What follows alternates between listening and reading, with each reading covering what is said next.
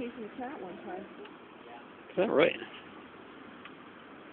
They were all looking at me through the window, a grandmother and someone else.